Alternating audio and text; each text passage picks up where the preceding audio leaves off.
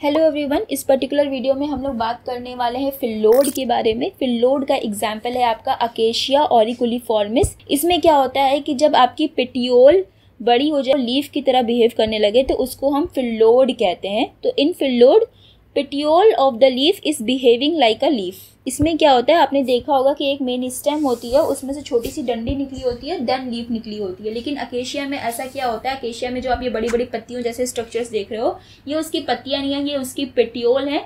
पत्तियाँ इन पेटियोल के ऊपर लगी होती हैं। इमेज में आप देख सकते हो, ये थोड़ी ही टाइम के लिए लगी होती है, उसके बाद ये झड़ जाती हैं, सिर्फ़ पेटियोल रह जाती है और पेटियोल ही पत्ती का फ़ंक्शन परफॉर्म करने लगती है।